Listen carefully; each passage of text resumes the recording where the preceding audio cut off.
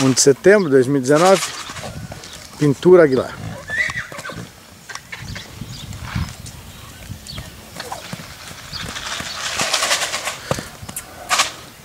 Pintura Aguilar é uma égua tordilha.